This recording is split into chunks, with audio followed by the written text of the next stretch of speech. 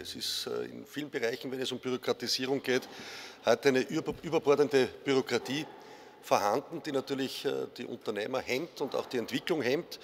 Wir bewegen uns da generell in vielen Bereichen in einem viel zu engen Korsett. Und das bremst natürlich die Wirtschaft, äh, auch bei der Abwicklung ihrer Aufträge. Und gerade jetzt, auch wo die Wirtschaft anzieht, muss auch der Staat, ich sage ganz bewusst, diesen Rückenwind nützen.